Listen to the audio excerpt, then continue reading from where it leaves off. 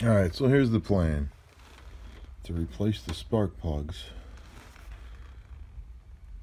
in this here car. Um, so apparently you need one of these because pulling on those plugs is quite a deal. I already pulled one out. Yeah, there's a there's a big suction holding those in, so it's it's a pain in the ass. Um, I'm sure there's other ways around it. Maybe like a hanger wire. I could see a hanger wire in a loop and pulling up could do it. Um, I don't know if this piece needs to come up to make it easier. Eh, maybe not. Anyway, so I got six double iridiums, 7431s, double iridium, Bosch. This car's got 150 something miles on it, 150,000. I'm pretty sure it's probably the same plugs. Because the owner did what most Richie Riches do. Get rid of the car as soon as it's at the warranty edge.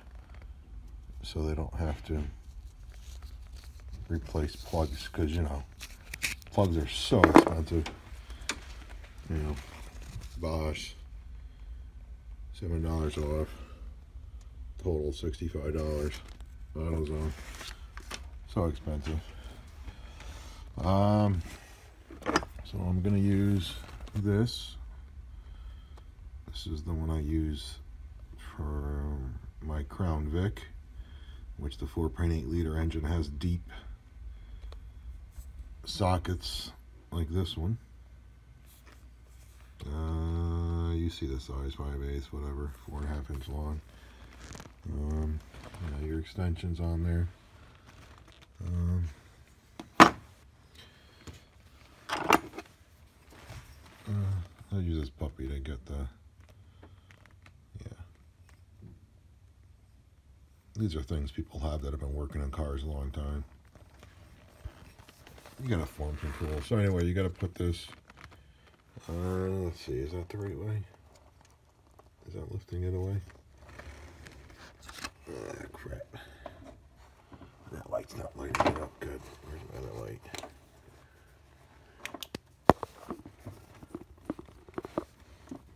You gotta get that. Come on, buddy. You gotta get that lip inside that little hole. Um, inside that hole there, you got to get that lip to release. You got to get that to pull forward like that. I mean, I suppose this would work. Well, it's kind of easier to just use this. And then pull up. Alright, that one's already loose, so that was a cheat. That a cheater. these have to pull up. This one I had already pulled up, so it's not as tight. Uh, but the puller, uh, the puller grabs here like that and pulls up on it. See how it fits in there perfectly? So obviously we need those top parts off. Pull this up. That pulls out. Uh, and we got some oil. I don't know if that's, is there a seal right there? I don't know if that's a rubber.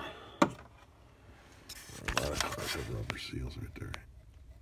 Yeah, that's rubber. So hopefully that's not leaking on any of the other cylinders. Because what happens is that upper rubber seal starts leaking, then you get oil down on the cylinder. It looks okay down there. Looks like there's a little bit, but generally it's pretty clean.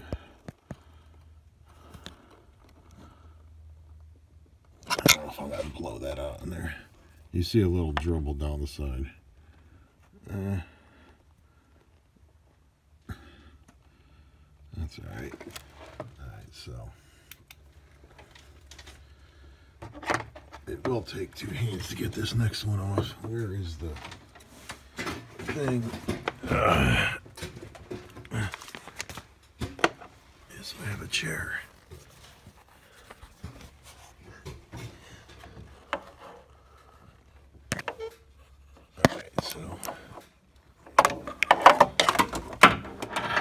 there goes my light. Hey, buddy. That's the best thing about this car is that thing that's down below there. Doesn't let anything fall to the ground. Alright, I'm gonna turn this off so I can reach down there for that. Alright, um, yeah, I was demonstrating that wrong. To get this to loose, sorry, to get this loose, you put that in there like that and bend like that. That's what gets that to go. You don't go down in here. No, that's wrong. You go in here and push like that to make the lower thing go down. Uh, so I don't know if I can get in here.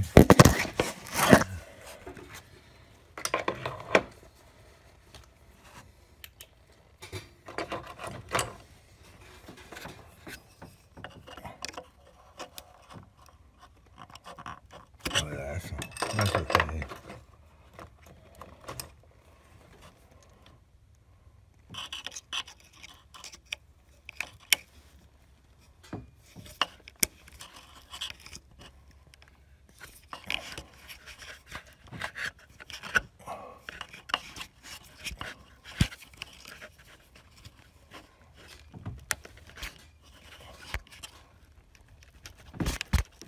I have to figure that out.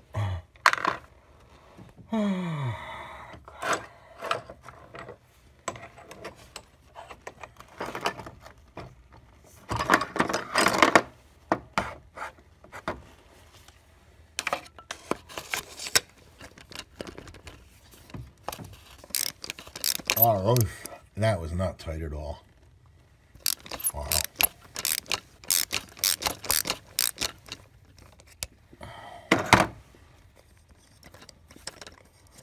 And this spark plug socket has the rubber grommet on it, so it'll pull the plug out with it.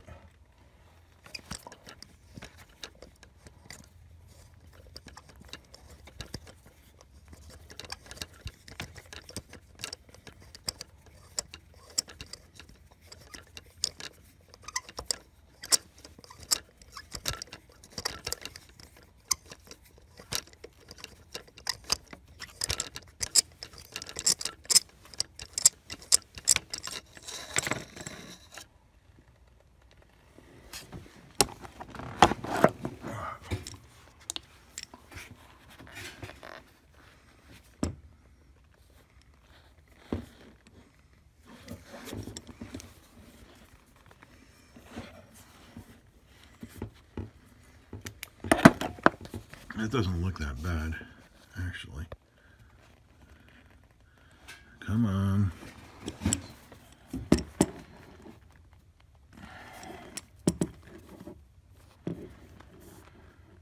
Focus on the tip, buddy. Stop flipping around.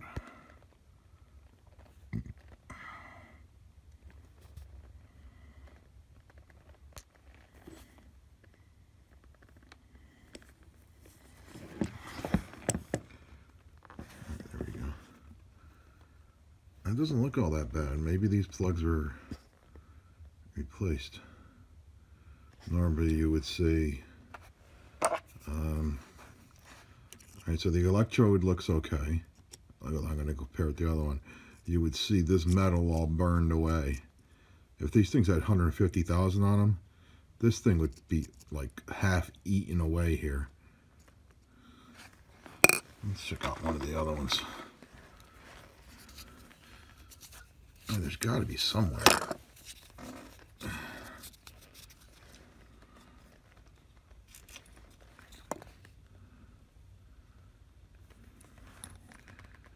Here's the other one, double platinum.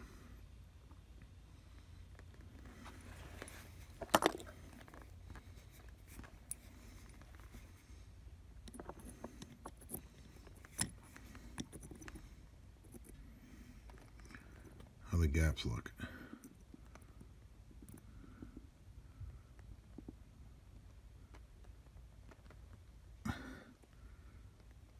All right, so the gap is smaller. Maybe, maybe some of the metal is eating away. All right. Of course, almost with the split plug, you want to make sure that the threads and everything the same deep, just to be sure. Let's see what's in this thing even.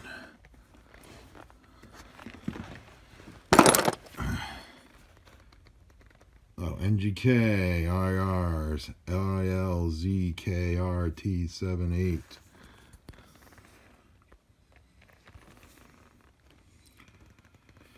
So I'm going to guess that these were replaced, maybe at 100,000.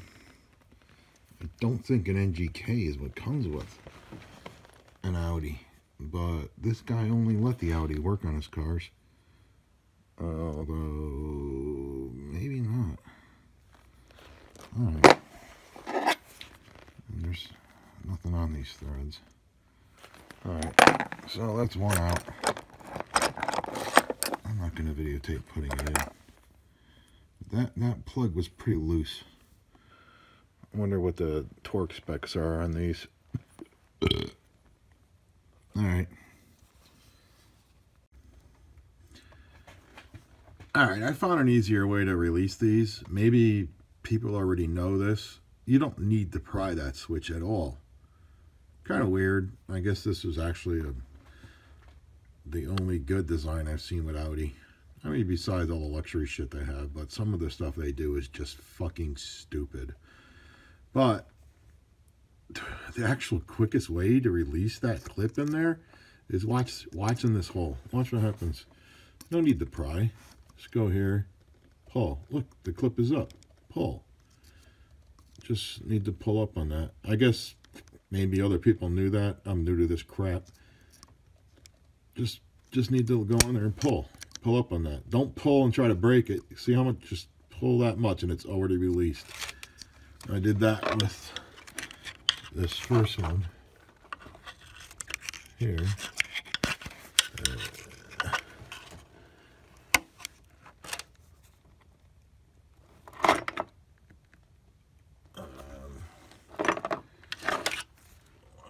so zoomed in.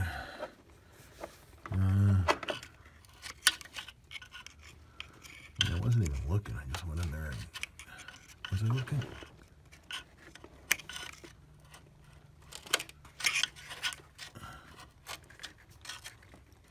Anyway, yeah. You just reach in there with something like this and just pull up on that and then pull up on the switch and it'll you know, wiggle it a little because these things, if you haven't taken them off in a while, the dirt and grime makes a nice suction and holds them on there. So you just got to make sure that releases. See the see the clip down on there? When that pulls that way towards the window, it's not held on anymore. And then you just wiggle this back and forth and pull it up out. I have nothing to hold the camera to show me do that and that, but it's the same technique on all of those.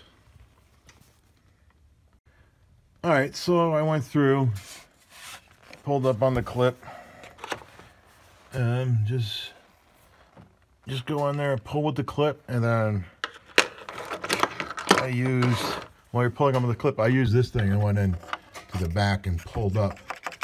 Oh, sorry. I went in this. While pulling up on the clip, I went on this and just pulled up on those, and they all released. as you see, you don't need to remove this. These get tight in there they just push up into the sheath and then they pull out and get out of your way. And this one also had a tiny bit of oil on it, but I already cleaned it off. Um,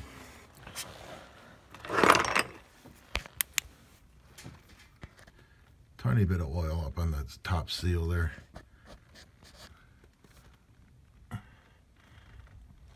I'm really not going to film all these. And yes, you don't want dirt falling down into your cylinder. Um, there's a minimal amount of dirt. I'm not going to blow it. I'm not going to even bother touching anything. There's not enough dirt to, not likely to knock anything down. Just keep this so it's not hitting stuff when you pull up out. Oh, these threads are so long. Oops.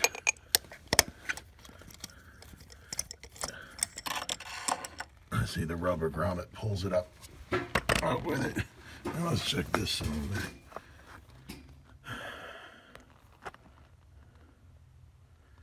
mean, that plug looks good too. I mean, there is wear at the top. I Again, I don't know how many miles are on these plugs. Up my bumper? Keep kicking it down there. Yeah, buddy. Yeah.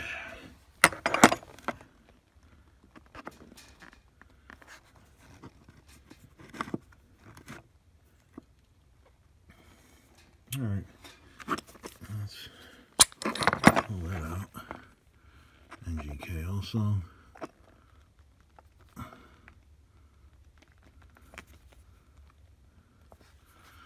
And we'll replace that with a Bosch also. See, the gap is smaller on these. Tiny bit smaller, so that, that those that metal is eating away on those. And with the rubber grommet in here, I just do this, it in, and we're seated. And then I could just easily it back down this hole.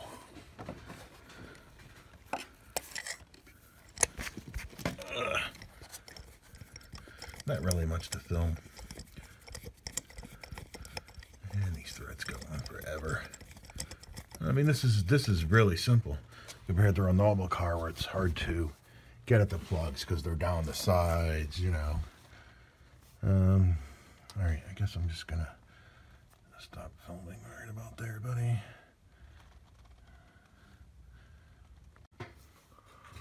All right, so this spark plug I'm gonna have to blow air out of. Um, let's zoom this in. Unfortunately, I don't think I looked down the hole the last one I did. But, yeah.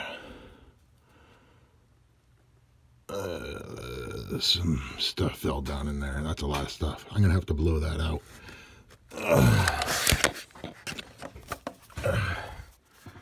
I'm going to use um, a can of air and just stick the, the tube down there. Uh, let's find it. All right, so I'm going to blow out that cylinder this method. This is a vacuum. This is an old vacuum line. It's it's real hard, but anyway, normal vacuum line would work. Over that tube, and I'm going to stick this down the hole and blow like that, blow to get that air out. I don't feel like turning on the, the air pump just for some air. I did this method also to get um, filings out when I had to um,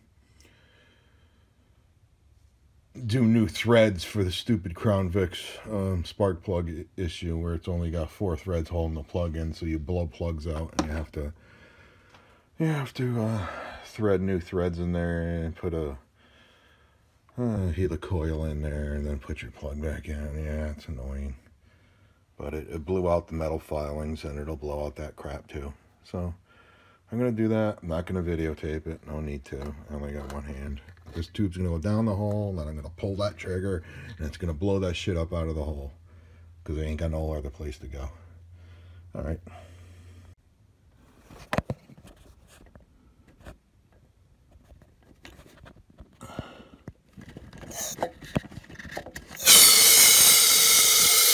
That was cool. I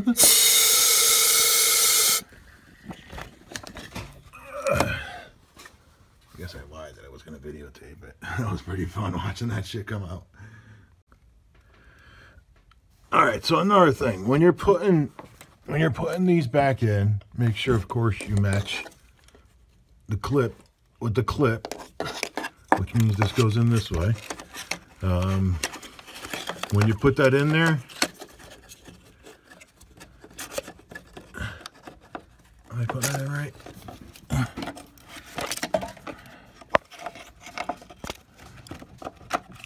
That one's a little tight. Um, yeah, buddy. To get that in there and clipped, you definitely want one of these. Uh, what is this thing called? I don't know. But you go in, instead of removing it, you click it, and then uh, push down. Of course, this time it doesn't do it, right? All right. You push down, you usually hear it click.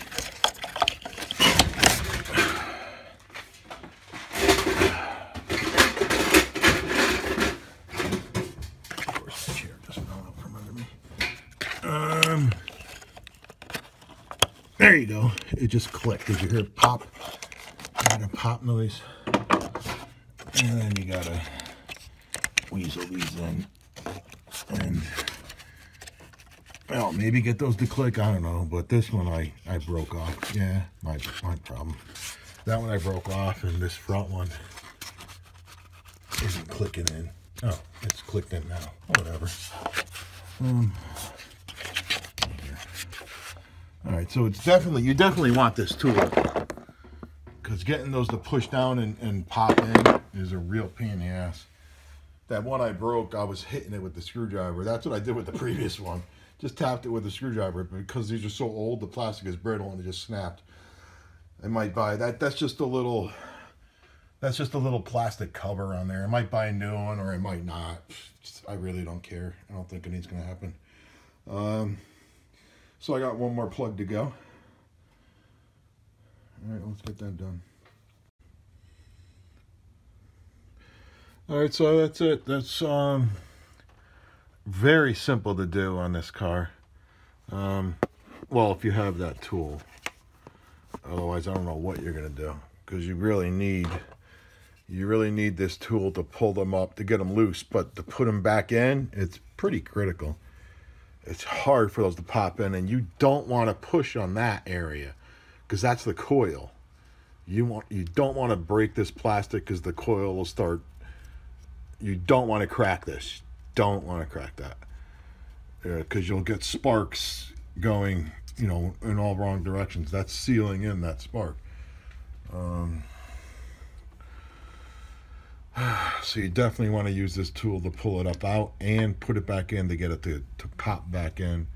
I, I screwed up one of those, broke the plastic. Um, it looks like um, this plastic is can be replaced. At least uh, that's the plastic I broke.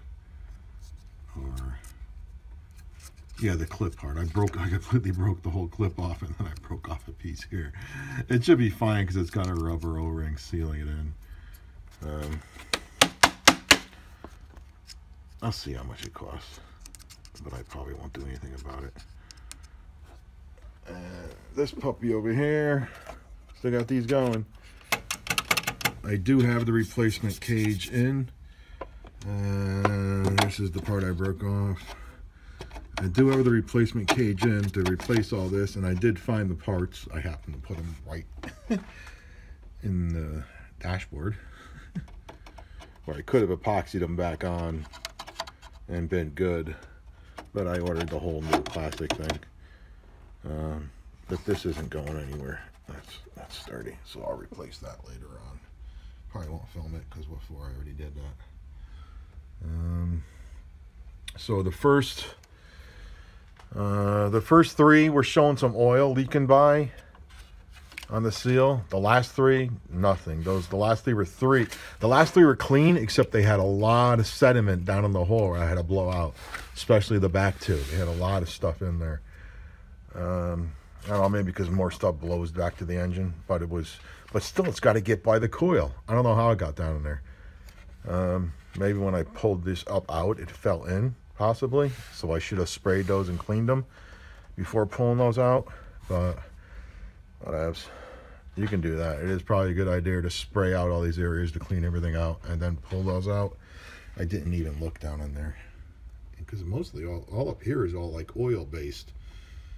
Um, it's all oil and sedimented. It's all oiled down and doesn't move. But then again, I guess there's some oil leaking over here or something. Where back there it's all clean. So all that all the stuff that's wet here that doesn't move is probably dry back there. So